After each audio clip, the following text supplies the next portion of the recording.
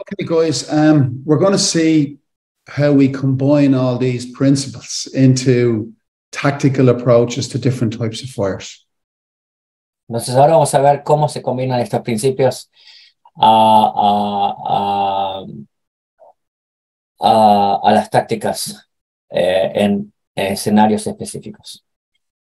Right, so I hope you forgive me here, Roy, but if you talk to an engineer who designs a building, the engineer assumes that the building will be built by the construction company perfectly. He assumes that the people who live in that building make sure the building is maintained properly and the building will remain perfect forever. And I translate that if you talk to an engineer outside Scandinavia, I'm just kidding with you. All right. Eh, aquí el tema. Si, si uno habla con un ingeniero que diseña este tipo de edificios, el ingeniero va a asumir que la, la compañía, la gente que construye ese edificio lo va a hacer perfectamente. Que la gente y los ocupantes van a usar el edificio de manera correcta y que el edificio va a tener mantención, por lo cual el edificio va a mantener su eh, integridad básicamente eternamente. Lo cual, well, and I guess what you're going to say is that's not the case in reality, isn't it?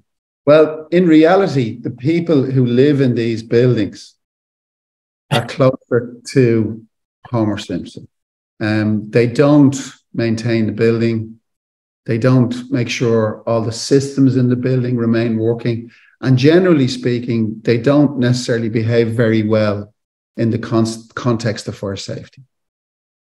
La, la, realidad es que la mayoría de la gente en su comportamiento, en la manera en que, en que, en que mantiene eh, su edificio, en que se mantienen que los sistemas contra incendio, eh, que se mantenga su función, y también en su comportamiento, ¿no es cierto? Se asemejan más a, a Homer que, que otras cosas, eso siendo la realidad.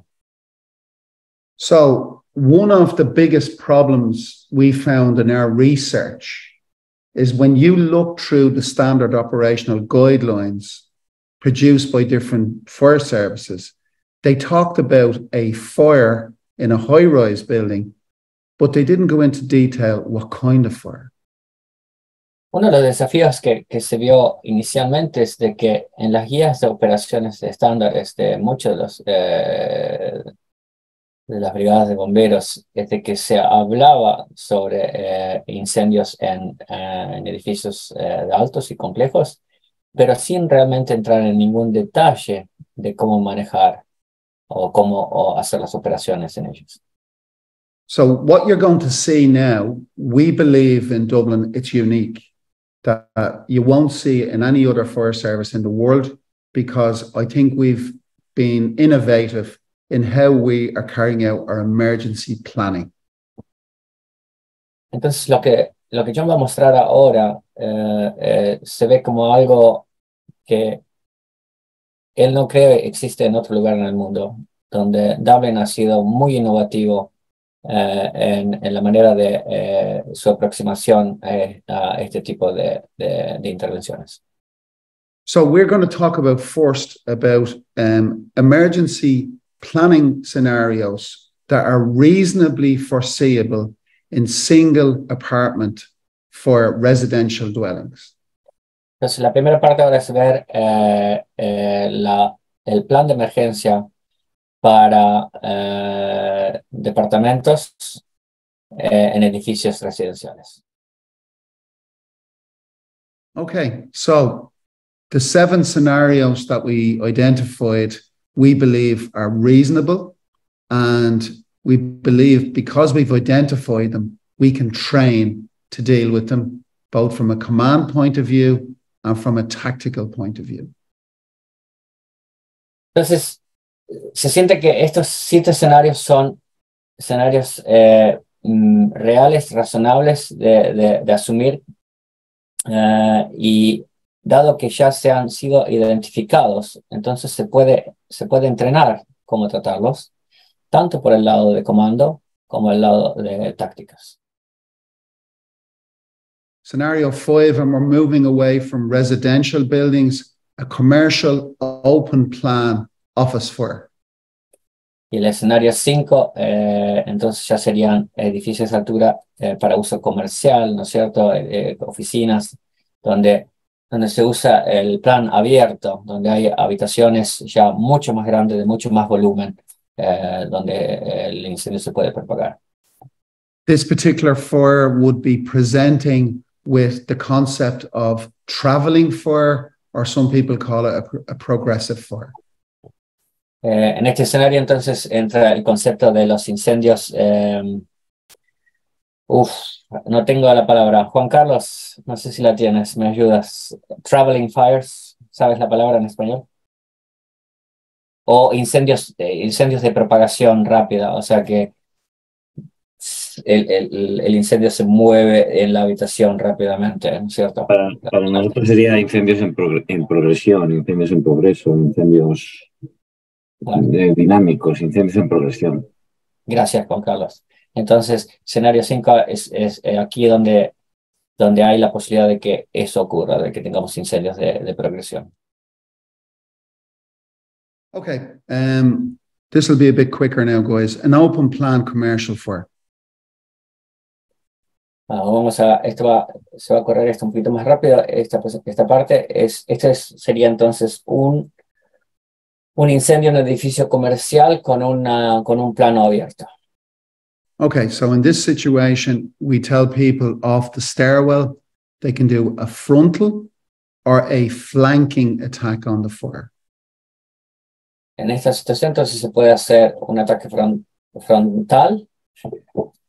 I think I need to look up flanking.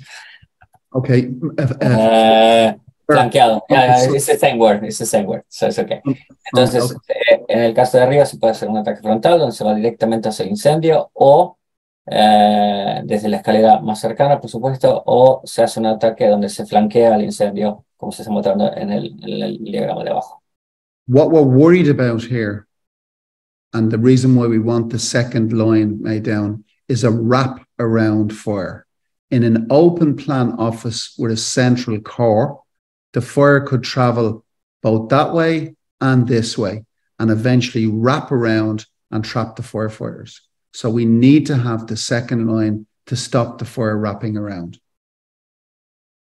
Eh, lo que nos preocupa en este caso es de que el incendio pueda propagarse para ambas direcciones y entonces eh, básicamente rodear a los bomberos. Por eso es importante tener esa, ese grupo que eh, ataca desde otra dirección también para procurar tanto de que el incendio no los rodee eh, y, y, proteger eh, y, y, proteger al, al primer grupo.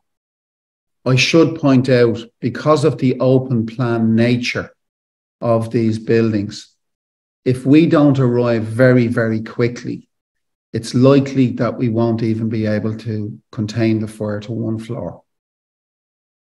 Eh, hay, que, hay que nombrar de que debido a la naturaleza de estos eh, eh, planos abiertos, es muy probable que para, eh, para, el tiempo que uno ya ha llegado, que no sea posible contener el incendio a solamente un piso.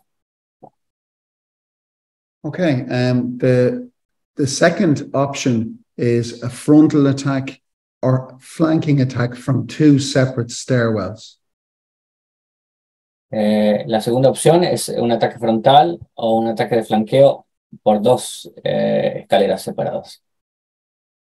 Right. Again, I just want to talk about a wind-driven fire in the context of a commercial open plan office. The deal is very simple. You're not going in. You're going to fight the fire from the outside with aerial equipment. Uh, uh, uh, just to make sure. So tactical option one and two, those are not wind driven fires. Exactly, exactly. Okay. Entonces, la opción uno, la opción dos es, eh, tenemos un plan eh, abierto, un plano abierto, eh, pero no hay impacto del viento. En la opción tres que está viendo aquí, si es que, eh, entonces es un, un escenario donde tenemos el impacto del viento. En este caso, no se hace un ataque interno alguno, solamente ataque externo. The chances are you will have to wait till the fire consumes the available fuel and starts to go into decay before you could safely put firefighters on that floor.